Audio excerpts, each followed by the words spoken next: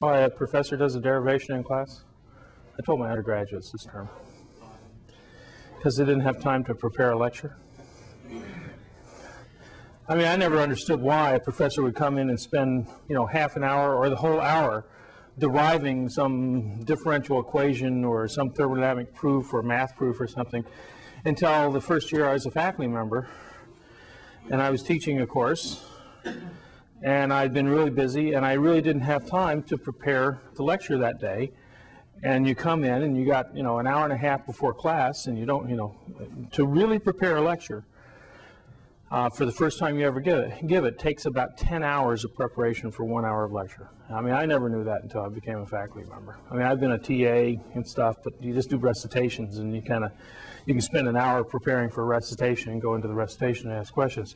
But actually prepare a lecture and get things together and organize your thoughts and take all this information, try to condense it down in an organized way. It takes a lot of time. So anyway, what happened is I, you know, I, I didn't really have a lecture, but class was coming up. So I just did a derivation.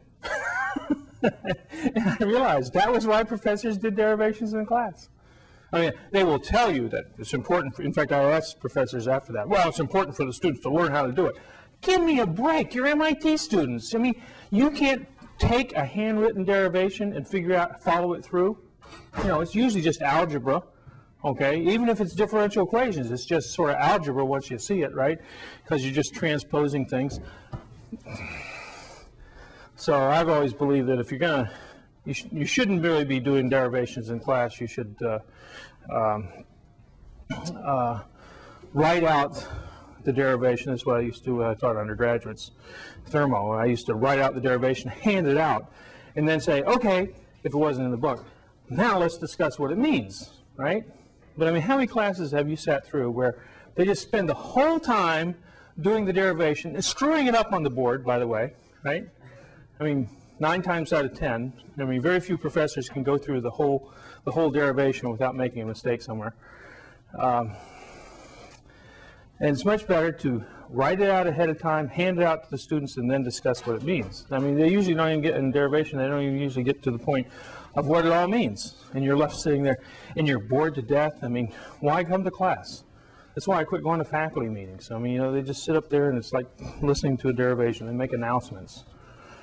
anyway, so that's that soapbox. But it's important to know. Um, actually, I also told my undergraduate class, uh, they always complain about students learning to write. I mean, they do this at every university. But, um, well, actually, you're, you're all probably too far removed from your freshman year, but you, how many, how many, how many pages of essay did you have to write per year in college? Depends on what college you went to. Not many. I mean, less than 20? You went to engineering school? Essay? Yeah. Yeah, like, yeah, I went to engineering school. Yeah, you went to engineering school. It's less than 20, right? Anybody else want to? I had to do more, but I took a lot of English classes my first year, so Okay, so we wrote more. 70, 80? Okay, 50? Well, they always complain, of, and I know years ago at MIT, the freshman class basically wrote about 20 to 30 pages. And that was because of their humanities classes primarily. My, my oldest child went to Princeton, he wrote about 150 his freshman year. And you want to know why they can communicate better? Because they practice, you know. Now, why, here's the real clue, why do MIT professors not ask you to write more? They have to read it, exactly. Can you imagine? I mean, it takes time, right? Why am I letting you all do uh, quizzes together, you your homeworks together if you do the problem solutions, right? Because if you all turn in one, I only have to grade one, right? And for my philosophy of this course at this level, I wouldn't even make you do anything if the institute didn't require it, right? You should be here because you love it. And breakfast is all right too, right? Anyway, okay.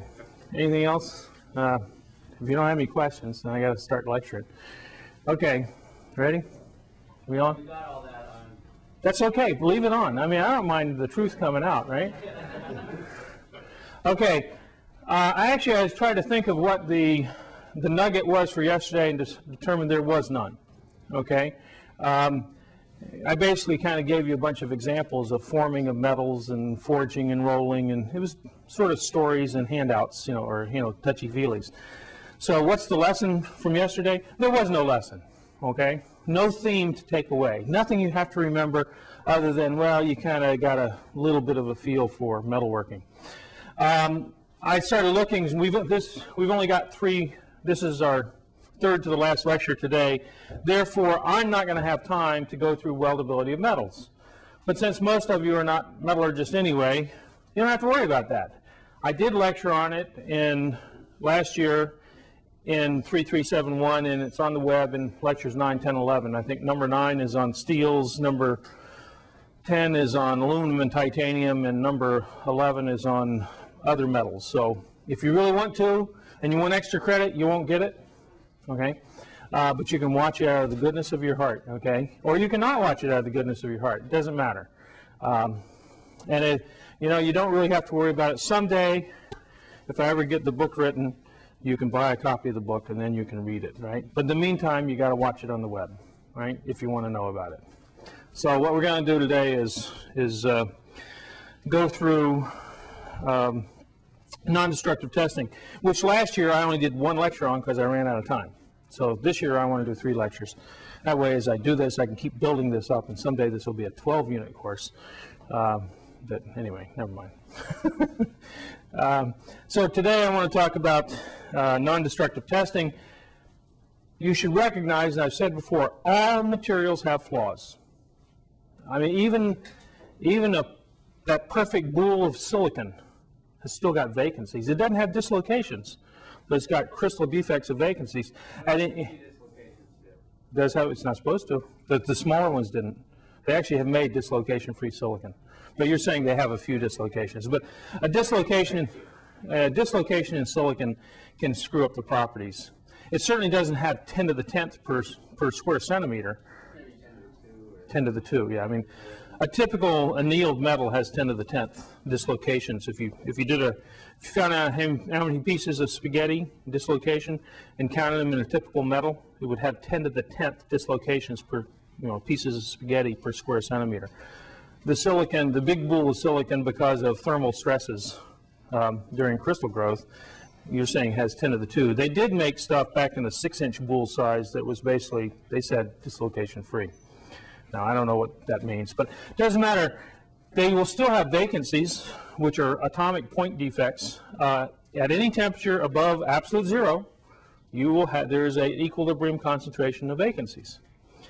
So you're always going to have flaws in the material. And a vacancy or a dislocation is a flaw for silicon. It's not for a metal, for a structural material, but it is for electron some electronic materials. Not all electronic materials, but some. So there are always flaws. And we talked about casting, and you cast things, and the typical flaw size is going to be proportional to the size of the casting. Whether it's 10% of the casting diameter, or characteristic length of the casting, or 5%, or depends on how you cast, but it's going to be some fraction. Hopefully it's not half. If it's half, you ought to be able to see it most of the time. But you're going to have flaws that are somewhere between a few percent and 10% of the casting characteristic length um, in the material. And you try to get rid of those, but even when you try to get rid of them, you don't always get rid of them by rolling and forging and hipping and, and stuff. So all, you're always going to have flaws, but the question is, are the flaws defects? Because a flaw is not necessarily a defect. Anybody know how you define a defect? A defect is something, is a flaw which makes the product unfit for service. Now, that's sort of a, uh, a begging the question definition uh, in the sense that now I have to ask the question of what is the service? What are the service stresses I'm going to have on this part? If I'm building a pipeline to carry gas from Louisiana to New Jersey, and that was actually the first big welded pipeline in the world in the 1930s, it was a it was a 30-inch diameter pipeline bringing gas from um, the Gulf states up to New Jersey. Um, and it was one of the first critical all-welded uh, steel construction pipelines. And remember, I mentioned early on that a, a pipeline has more basic materials costs than anything else. About a third of the cost of the pipeline is actually the cost of the steel pipe. Digging, you know, a hole in the ground and sticking this pipe in is a lot simpler than, in a sense, than building an automobile, which is much more complex, or an airplane or something. So uh, it turns out because something like a pipeline has a fairly simple geometry, it's very easy, or relatively easy, actually, it's not quite that easy. There's whole books on it, buried pipelines, on calculating the stresses that are on it. Um, it turns out you can operate a pipeline, and typically they operate a pipeline at 75% of its specified minimum yield strength of the material. Now remember, for fatigue, we only operated um, most things at less than 50%. If you're below 50%, you don't get fatigue. Well, in a pipeline, you're above 50%, so you'll get fatigue if there's any type of notch. And in fact, there was a big explosion in New Jersey uh, a number of years ago of a 40, I think it's a 42 inch diameter pipeline in Edison, New Jersey, and it had fatigued over time and finally just ripped open under the high pr- pressure of the gas. At about the gas was about 900 psi in this pipeline, and you can, if you go through and figure out the stress, it's about 72% of the strength of the steel, of the ultimate strength of the steel. And so the fatigue crack will propagate because there's variations in pressure in the pipeline every day. You know, people use more gas for a while and the pressure goes down a little bit. So there's, there's fluctuating stresses. Um, so this thing had let go. And when they went in to try, to find out why it let go, they found that there were all kinds of backhoe marks on this pipeline. The place where it failed was actually an asphalt plant where they always had these backhoes digging up the asphalt and stuff. And it turns out they have airplanes that fly over the pipeline uh, once a week to see if anybody's doing any construction. Okay, a guy getting a little, you know, um, two-seater airplane or whatever that goes fairly slow. Um, typically, one or two people. Um, many times it's the pilot plus a spotter. Sometimes it's just the pilot. But in any case, um, they fly once a week to make sure that some contractor is not digging where the pipeline is to do damage to the pipeline. I can't remember, I've seen the statistics, but it's a huge fraction of the pipeline failures are due to damage due to construction in the area. And in fact, most states now have something called DigSafe. If you're digging up anywhere in the ground, you're supposed to call up this DigSafe number and the various utilities, the gas company, the electric company, the water company are all supposed to, before you dig, come out and mark out where their utilities are buried in the ground so you don't dig them up. You know, it's, it can be, you can create a flood if you hit a water pipe. Uh, you can destroy electrical service. Um, I just had to deal with a problem where a steel pipe that had a 250 kilovolt electrical transmission line buried in the ground um, basically ruptured one night in the water because near a water pipe and it flooded and everything and it costing the, the ultimate cost of this failure was millions of dollars. No, nobody got hurt. It's just a little bit of water trickling out of the ground. Although eventually we got all kinds of insulating oil from the electrical pipeline into the into the uh, New Jersey watershed um, and into the bay, uh, some Raritan River. But but so there's all kinds of environment, not all kinds, but there was some environmental damage. Um, but it wasn't serious. No one really got hurt uh, physically. But then when you have something like the, uh, um, the, the New Jersey gas explosion, gas pipeline explosion, there were flames 600 feet in the air in the middle of the night. Um, the roofs of the apartment buildings next door melted from the heat of this flame. Nobody got hurt. Uh, They claimed that one woman uh, five miles away had a heart attack and died. And she was 80 some years old, but you know, certain probability she might have had a heart attack that night anyway, even if there hadn't been a lot of noise. Um, in any case, it can be a big problem when something happens. Well, they found gouge marks, like a hundred gouge marks around this pipe. And people wondered, well, how could that ever happen? Well, it turns out they had a, um, a settling pond on the site, and apparently they would dig underneath the settling pond, so when the plane flew over every week, they couldn't see that any construction was going on. They had construction equipment right there above the pipeline anyway. They didn't see any digging on the ground, but there was digging underneath the settling pond. okay, and so they were, guys get down, okay. Now, they claimed that the pipeline had never been, um, there'd never been any digging in the, in the area around there um, for, uh, something like 15 years. This occurred in the mid-90s. But when they, when the pipeline blew up and, and the ground all got moved away, and they started excavating to remove the pipe to repair it, they found a fully buried 1988 Ford Bronco, okay? Car, right? Truck, SUV, back in 19... Supposedly, they had never, no one had ever dug in this area since 1980, before 1985. But somehow, someone had buried a 1988 Ford Bronco. So we sort of doubted whether there had never been any full excavation in that area, given the fact you found a full, full-size vehicle buried in the ground. You always have to ask yourself if the mafia was involved. Um, but in any case, the damage was caused by a big gouge in the pipe. That's a, that's a defect. That's, uh, and you can calculate from fracture mechanics what size flaw would constitute a defect at a given stress level. Remember, it's got, it's just K is square root of pi c, right? The square root of sigma pi c. If you know the operating stress and you know the toughness of the material, you can calculate the flaw size. So you know these two, and all you, if you know those two, you can calculate the critical flaw size that causes the thing to rupture.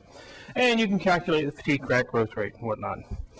Now, non-destructive testing, essentially, which is what I want to talk about right now, is a way to um, try to measure and make sure that I don't have any flaws of critical size in my material.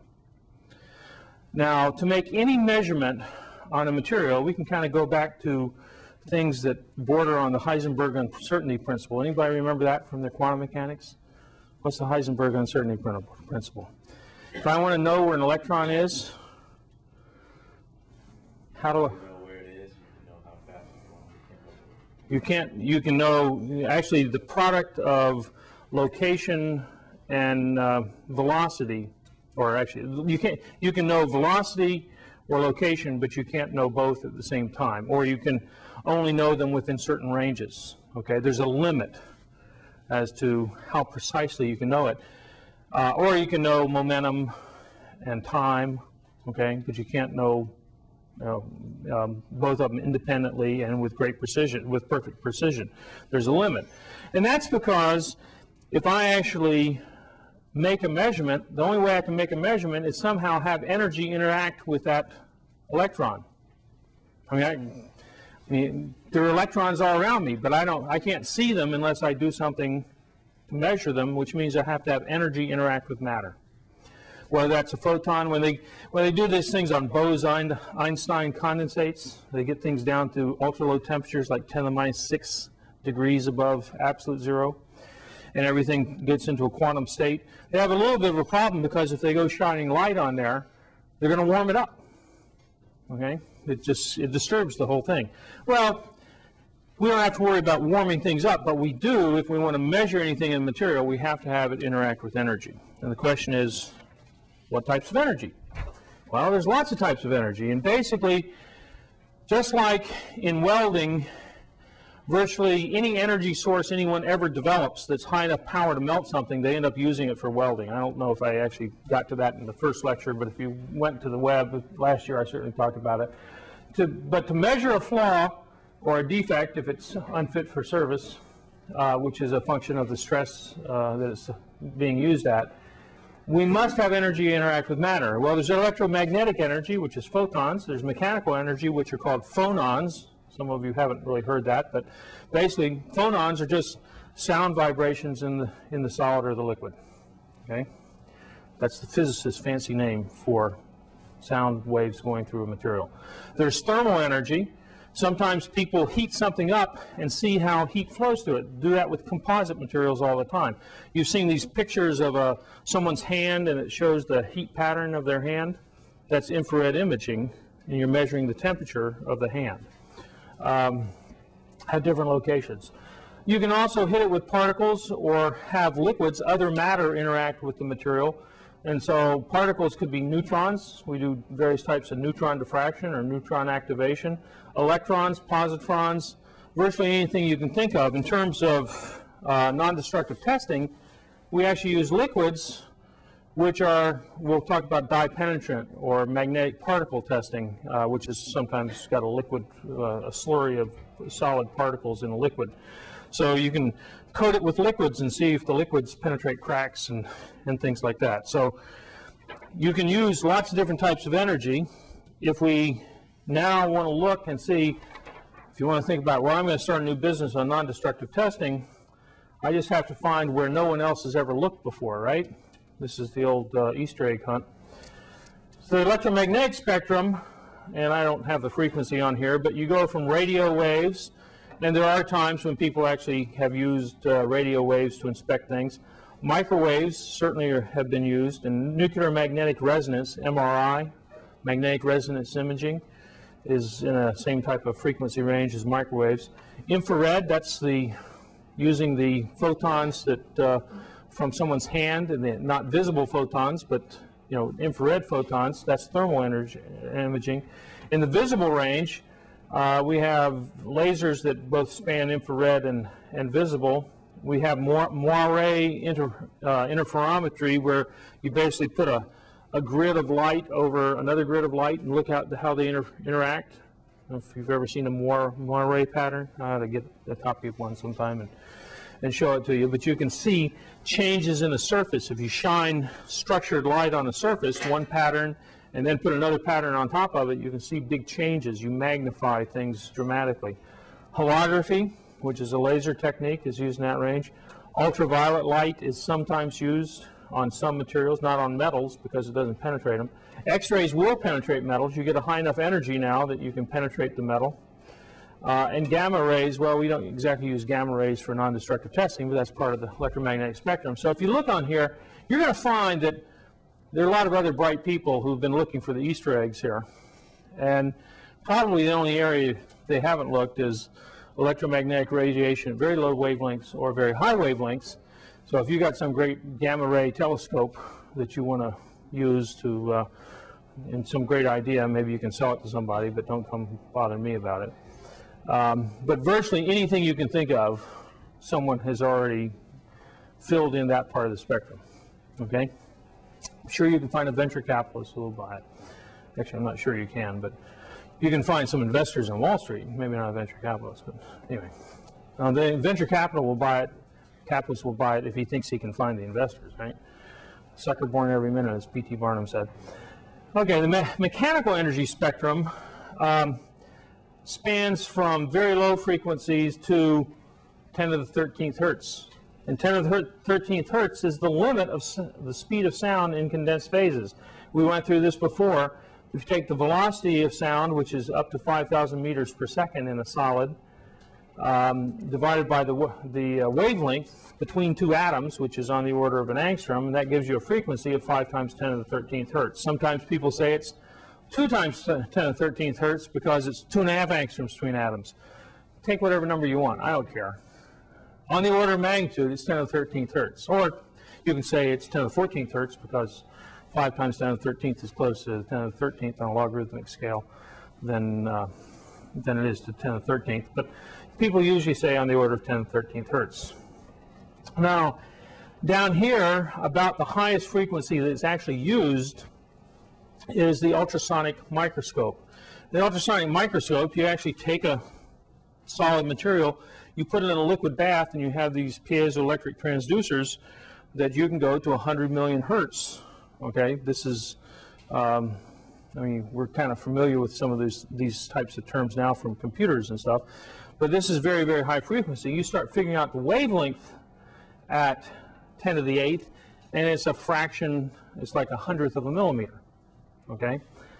Typically, if we do ultrasonic testing, if you were um, looking at the frequencies, they use ultrasound to look at a pregnant woman's womb and see if, you know, see how the baby's doing or, or whatever.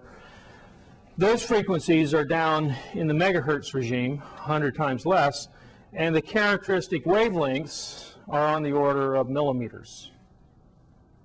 So the, the smallest pixel, you will, might be on the order of a millimeter. Unless you want to go to 10, you can go obviously to 10 to the 7th in between and you get down fraction of a millimeter. But for, you know, identifying things uh, for materials, we're generally happy with something in the megahertz regime. Uh, typical, most common frequency is two and a quarter megahertz. And that typically gives you a wavelength on the order of two or three millimeters. Uh, and the, you can't measure anything smaller than the wavelength size, right? Yep. You mean up here? You mean up here? Oh, yeah, this is not a, In the electromagnetic spectrum, the answer is yes. In the mechanical spectrum, you don't get far enough. I mean, the, the propagation of sound dies off too quickly, okay? But for the electromagnetic spectrum, yes. If, if I have certain types of non-destructive test equipment, I have to meet FCC, Federal Communications Commission standards. For example, but even more important, like arc welding power supplies have to meet FCC regulations because they're going to generate all kinds of electromagnetic noise in all kinds of spectrum ranges. Because I've got a welding arc vibrating at in this regime where you have radio waves and communications. If you've ever been around someone striking an arc and they have the radio on, you just hear static on the radio. Because I now have a radio generator that's generating white noise uh, that's more powerful because it's closer. Okay, I got hundreds of amps vibrating, um, and so there, you do have to meet FCC regulations in the electromagnetic spec- spectrum. Depending on the power level, I mean, the FCC is not just frequency, but it's the power that you're radiating, right? Why, why does a Wi-Fi only work? Some of them work, well, your wireless, wireless mouse works three to 10 feet away from the computer. Your Wi-Fi works within, what, 100 yards, maybe. It has to do with the power that you're radiating. I mean, you know, go to, go get a, um, a, uh, a walkie-talkie now that you can get for 50 bucks. You can buy two of them at Costco or Sam's for 50 bucks. And they're like a one watt or a half watt. Some of them are three watt, okay? Well, you know, a local radio station is going out at 5,000 watts, okay? So they go a lot further than a mile away with a one watt uh, um, signal sender. In the mechanical spectrum, it turns out there are mechanical waves that are very powerful. I mean, an earthquake, right? Um, but we tend not to be able to generate mechanical energy that goes very far. Uh, now, you can, it'll go plenty far in a solid material at 5,000 hertz. Um, so we can we can vibrate things. Um, we have well, we talked about ultrasonic acoustic emission. As as a part is, if a part is cracking, it will as the crack moves, it will send out stress waves, and those stress waves are sound waves, phonons. They may be at 100 kilohertz. You can't hear them. Now, sometimes you can hear a crack let go. You ever heard, uh, anybody ever heard a tensile specimen break? It goes bang, right? Uh, or when something breaks, and you can snap something, and you hear the you hear the sound of the fracture. Well, that sound can be picked up. Some of it's not audible to, to a human ear because it's in a different frequency range, um, but uh, uh, nonetheless, it can be measured. And I told you the story about uh, the Air Force general who wasn't going to let an Air Force jet fly with a crack in it, so we had to fly the test in an Australian jet, right? Because the Australian, I guess the Australian jet, generals weren't smart enough to know that some of their aircraft had cracks in them or that they would be harmful. Whereas the American general, U.S. general, was smart enough to know he didn't like cracks. Okay, don't tell him he had cracks, but don't you know. Um, in any case, mechanical vibration. One of the simplest test techniques is just to thunk something. Okay, uh, you ever tested something to see if it's hollow or solid by thunking it? That's a non-destructive test. You just hit it with a hammer. And it actually works very well. I mean, I've heard some people say, well, it's a pretty crude test. Well, I don't care if it's crude, if it works, you know. Um, so there's all kinds of mechanical vibration. Uh, surface roughness. You take a little stylus, like a phonograph needle, and you run it over the surface of something, and we call it, that's actually called by the manufacturer's name now, Talysurf. And you actually measure the surface roughness, and you can put it on a chart recorder, and listen to the noise. You know, you can see the noise, you can graph the noise. People will sometimes measure bearings and how they're running by just basically putting a microphone up against the object, and that's sort of acoustic emission. Um, that has a special name too among in the bearing industry. Uh, I can't remember the name right now, but it has they give it a special name in the bearing industry. But they're just listening for the sounds of the bearings running rough because they have a moving part. One of the problems with acoustic emission when you actually go out to measure something is trying to figure out what it is you're actually measuring because noise can come from all kinds of things. For example, if uh, people try to do acoustic emission on, emission on welds, on arc welds, the problem is is the arc weld heats up, the material expands, and it's being it's you know If this is the plate being welded, it's being supported on something else, and as it expands, there's slight thermal movement, which generates noise. So you'll always get signals. They may not mean anything uh, in terms of a defect, but you always get signals. So acoustic emission has always been a lot harder than people had really hoped for. So far as surface roughness now, it turns out that the fancier surface roughness monitors are now laser based. So you shine light on things and you actually see the variation in the surface roughness uh, as we've improved lasers. But in the old days, it was basically just a fancy phonograph needle. Uh, and at still a lower frequency, it takes uh, a couple of seconds to measure the hardness of something. That's just indenting a little um, probe under a known weight into the surface and finding out how deep it goes. The softer something is, the deeper it goes under a known, known load. Um, so that's called hardness testing. Um, and then there's proof testing. And proof testing is used quite often on parts um, to pressurize them if it's a container. For example, uh, propane tanks for your home cooking grill and stuff. Every single one of those got pressure tested at, let's see, at about 200 and, let's see, the maximum pressure up to 130, 120 or 130 degrees Fahrenheit for propane, you can find out thermodynamically, is like 120 psi.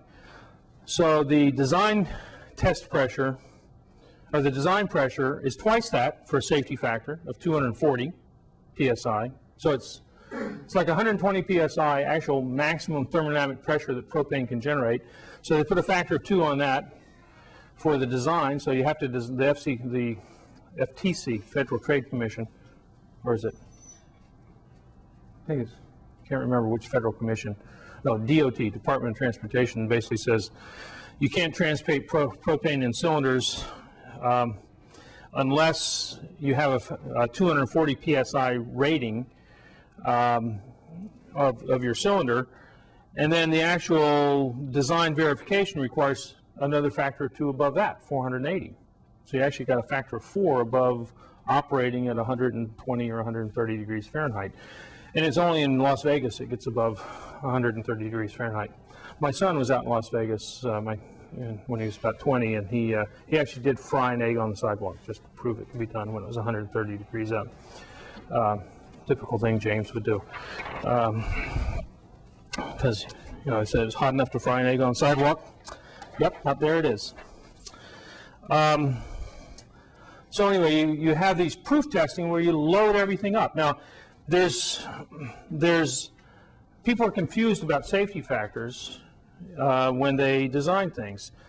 There is a design safety factor, which, for example, for a propane cylinder, is 240 psi, even though you're only going to operate at 120 psi.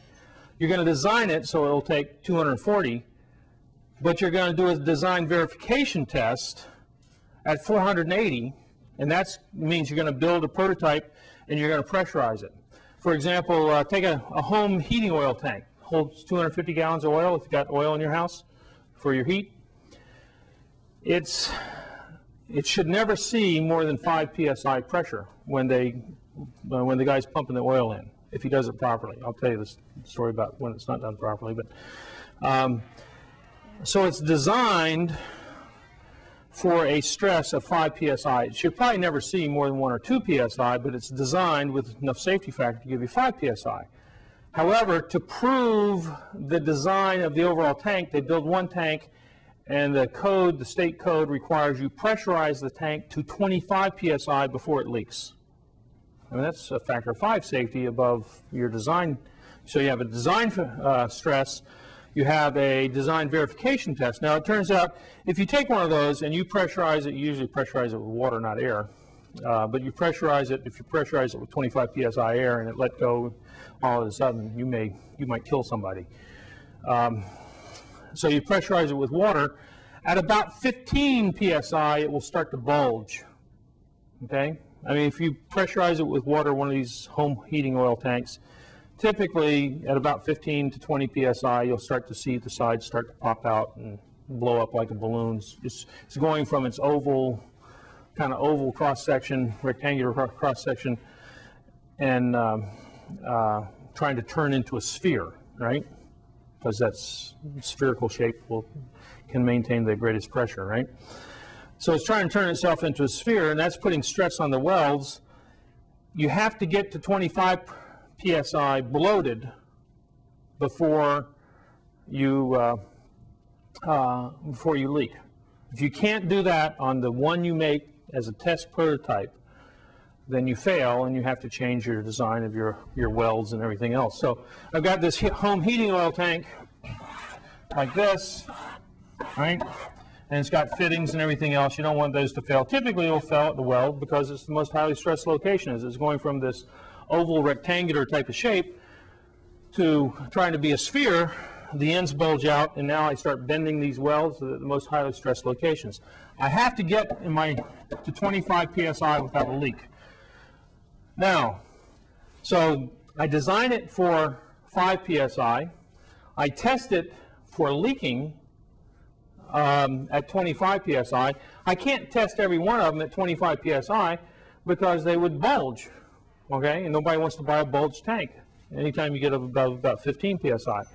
So it turns out every one of those is tested at 5 psi. So there's a design pressure. There's a verification pressure. There's a proof test pressure. This one, for this one, happens to be 5 psi, 25 psi, and 5 psi. This is what you calculate, it's just a sheet of paper. Um, this one is actually you take one and you verify that you, you actually build your design and make sure it works. And then there's the proof test. Every single one you produce has to see that pressure.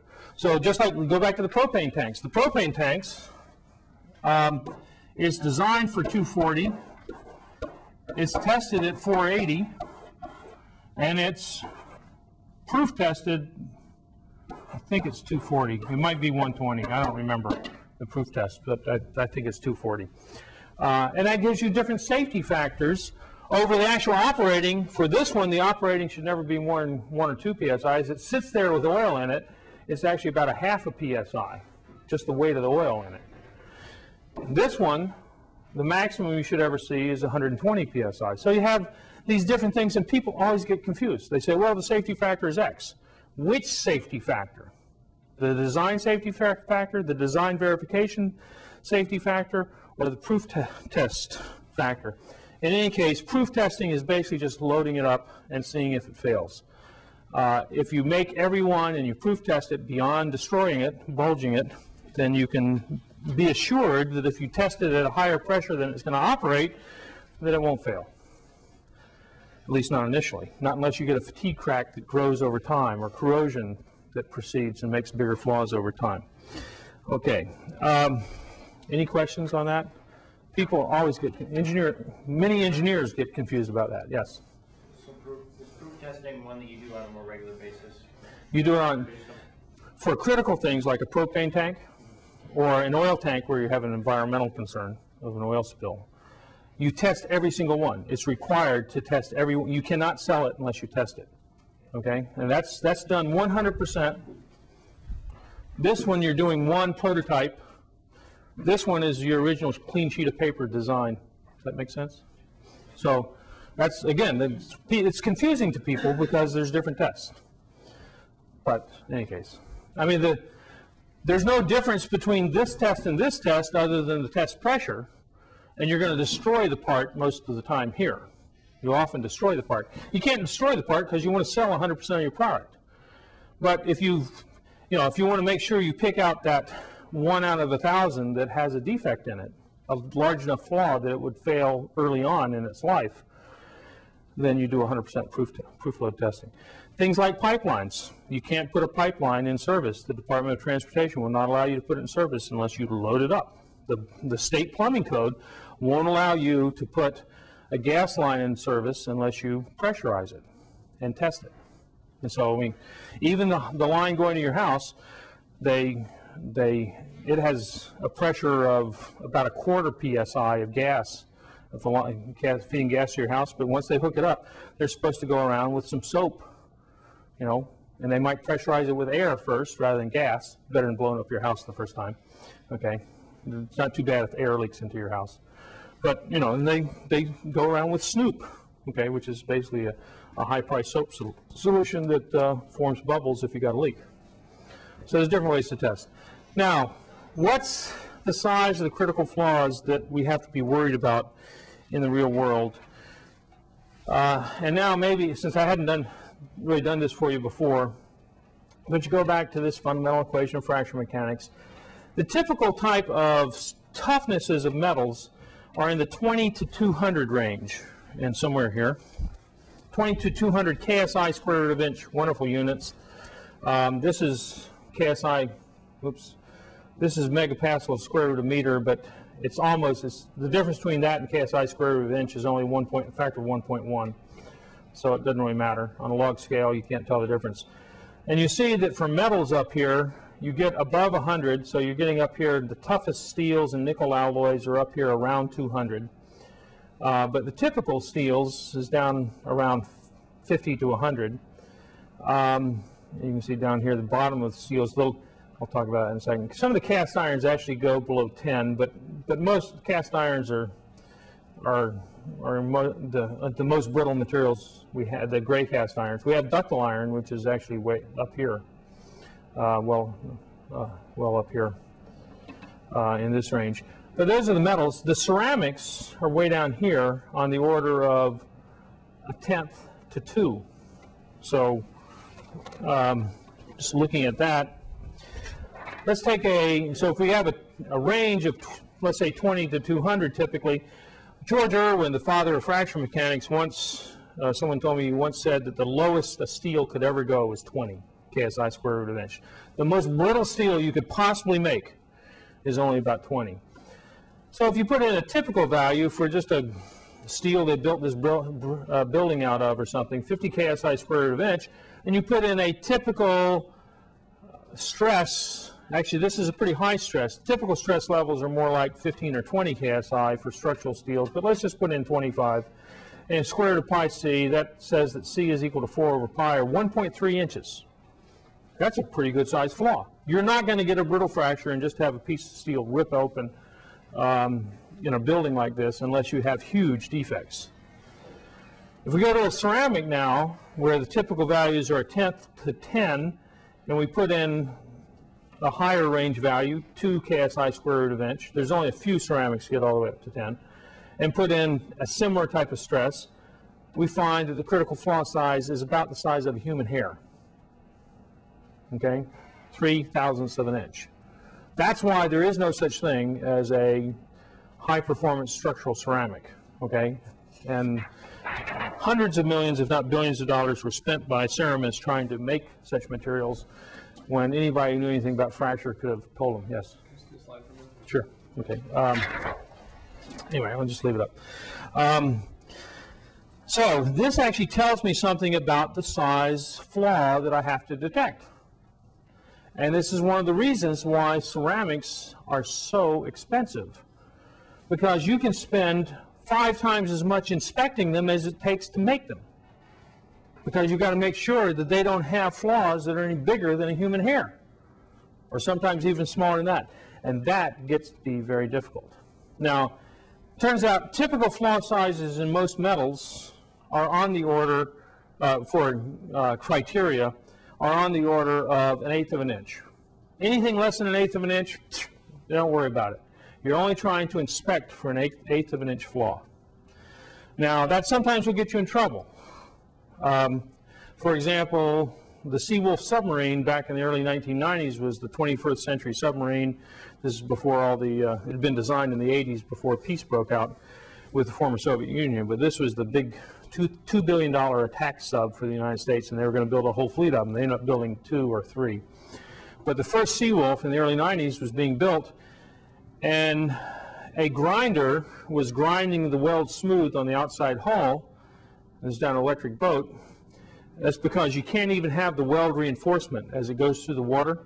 there'll be enough turbulence as the water, as it goes through the water, just from the reinforcement of the weld, an eighth of an inch above the surface, even though it's nice and smooth.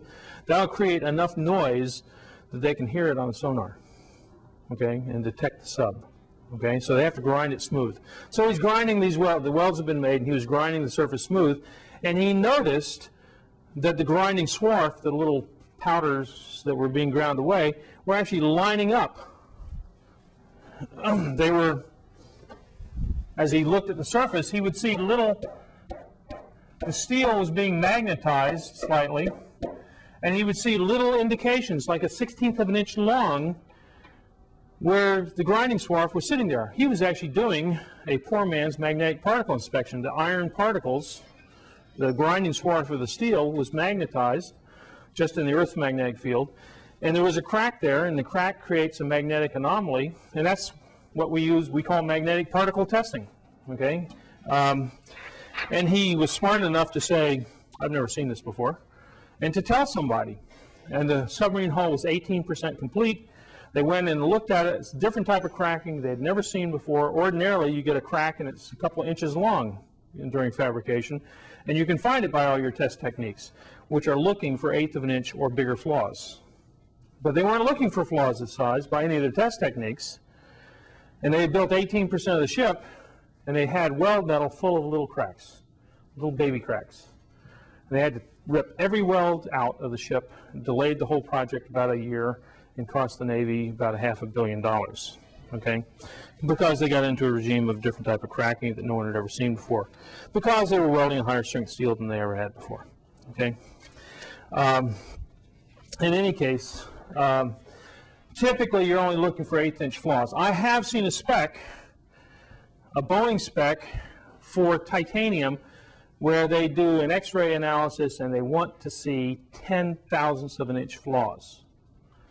Now this was, this was kind of a general Boeing spec um, and it's possible on x-rays to see a 10 thousandths of an inch flaw. It's kind of like looking for the period on the end of a piece of paper if the period is in a grayscale that's only slightly different than the surrounding grayscale. So it's not that easy to find, but it can be seen.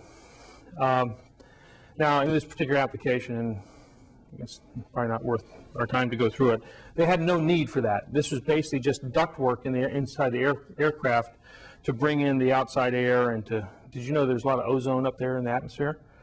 And they actually have to put the incoming air into the cabin through a catalytic converter in order to oxidize the, the or not oxidize, but to reduce the ozone to O2. Otherwise, you get a headache from flying because breathing a bunch of ozone up there. So actually, the air you breathe in an aircraft goes through a catalytic converter.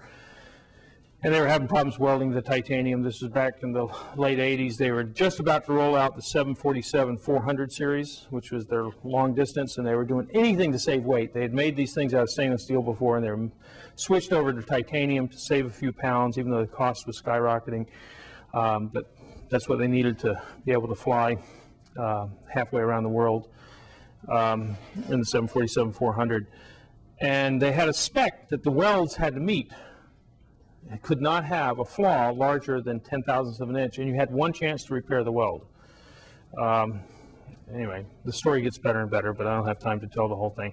It's a ridiculous spec to put that kind of spec on something. So you leak the little air out into the atmosphere, okay? You're just carrying ductwork, you know, air for people to breathe. If you had, if you had a little pinhole leak, would it make a difference? No.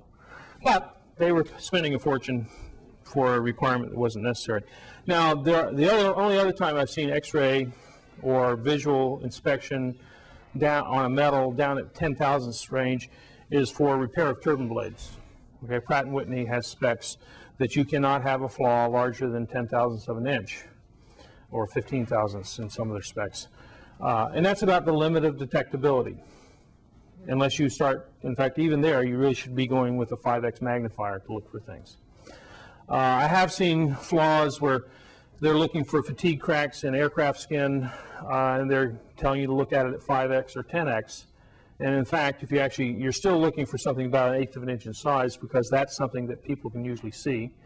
So if you magnify it by a factor of 10, that's a 12 and a half thousandths crack. Okay?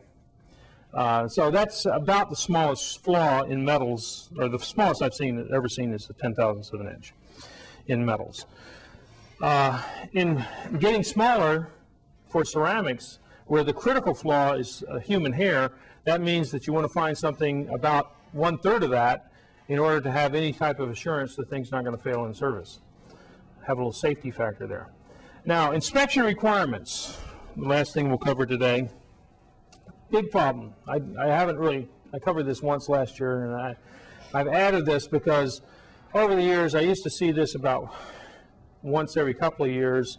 Now I'm seeing it a couple of times a year, where someone will specify the cheap way of inspecting something. For the structural welding code, basically you have to do a visual inspection of your weld. I mean, you can't follow the code unless you do a visual inspection. Now, there's a whole chapter, and if you want to pay for a more rigorous inspection, like x-rays or ultrasonics, you can, but if you do that, that's an extra cost to the fabricator, and he's going to charge you for it, right? Or if you need proof testing or whatever, if you have tests other than visual, it tells you how to do it. It tells you what the inspection criteria, the accept reject criteria, how big a flaw you can have, how many you can have in a given area, and whatnot. But some of the most critical welds, like on a pressure vessel, a boiler that could blow up, or a pipeline that's stressed very high, may have 100% visual. You always do 100% visual. It's easy, right? Uh, in fact, the welder ought to be able to do it himself. But you also have inspectors come by and check them. But it's easy to, easy to do, it's not terribly expensive. Uh, You need to be trained to know what to look for, but, but you ought to be able to have people do it. And they may have 100% X-ray or ultrasonic testing to look for flaws. That's because the critical weld, if that weld fails on the pressure vessel or on the pipe, you got a rupture. There's no redundancy to the structure, so you do 100% inspection. If you have redundancy in your structure, such as a piece of machinery or a bridge or a building, you may do 100% visual plus 10% of your welds you may x-ray or do ultrasonics on to make sure you don't have a lot of big defects. It's sort of a quality control tool to make sure that the process is in control. Here, you're making sure every weld is good. Here, you're basically just saying, I'm going to do 10% more rigorous inspection, more expensive inspection, uh, to make sure that the process is under control and the probability of producing good welds is high because I'm checking them on a regular basis. And typically, the 10% is selected at random, right? If you don't select it at random, they'll always figure out a way to, to pass, right? But you're, you're saving 90% of that inspection cost by only te- testing 10%. Now, you're talking about the joists of a building that hold the roof up. Well, you got multiple joists, very redundant, very low cost product, and it's basically just 100% visual. A lot of the welds in buildings or bridges are just 100% visual. It's only the critical ones, and a designer knows which are the critical hot spots, that if that one fails, you know, part of the structure will come down, but not usually the whole structure. If it's a whole structure will come down, they'll do 100%, okay?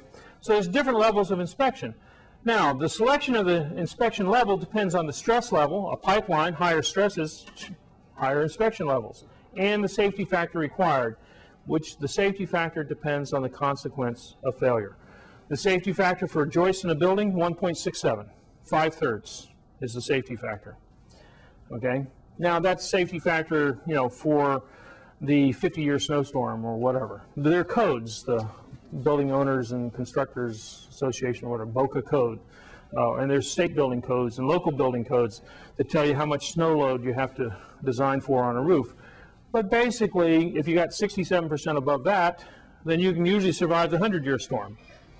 Now, since these are a cutthroat business and people will do anything to shave a few pounds of steel off a joist, um, uh, they're always cutting things and calculating the design because these things are typically design safety factor. Then they build one and verify that it'll take the 1.67, and then there is no proof test until you put it up in the building and see if it falls down. And we have a big snowstorm, I'll have business for, you know, for that year because a few buildings will come down. Now, the key thing here, if the contract calls for this, if you're only buying visual, you can't then later go in and say, oh, I want to do some x-rays on it. Oh, I found a flaw that I couldn't see visually, but I found it by x-ray, and you didn't give me 100% quality And I said I wanted 100% quality. Well, you didn't pay for 100% quality. It's sort of like going in and buying a, a Geo and saying later, you know, it doesn't have all the features of the Cadillac. Well, you're absolutely right. You didn't pay for a Cadillac. And in fact, it's very specific in the structural welding code under inspection, section 6.6.5, non-specified, non-destructive testing other than visual. Okay, visual is always required, but if you don't specify it, if it's non-specified, if non-destructive testing other than visual is not specified in the original contract agreement, but is subsequently requested by the owner, okay, the person buying it, the contractor, the person making it, shall perform any requested testing or shall permit any testing to be performed. Either they can do it themselves, or if the contractor, if the owner wants to have some outside people, any testing to be performed in accordance with section such and such. The owner shall be responsible for all associated costs, including handling, surface preparation, non-destructive testing, and repair of discontinuities other than those listed in 6.9, whichever is applicable. So the owner is responsible. If they want to buy a Cadillac later, they got to pay for it.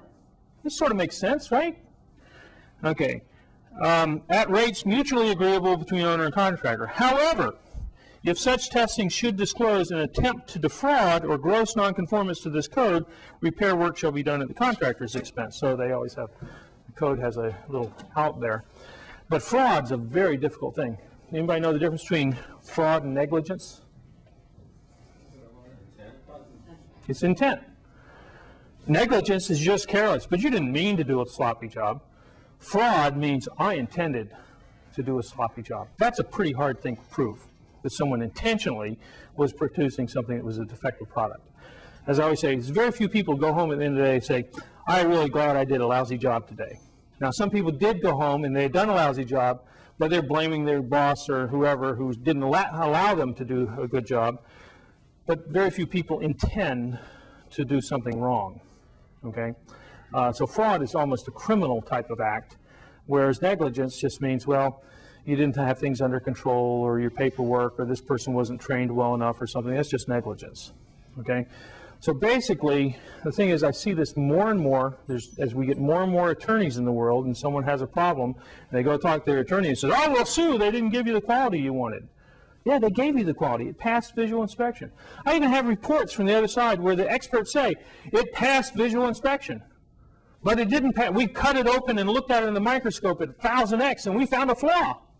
So, okay, all materials have flaws. And you can't now go and use a higher level of inspection and expect that it should pass the highest level of inspection when you didn't pay for it to begin with. But Fortunately, there are attorneys out there, and I have a job. Thank you.